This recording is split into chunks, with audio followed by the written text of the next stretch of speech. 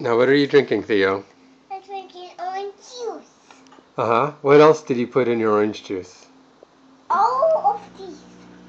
And what what are all those things? What are all those those nuts? And what and what are those?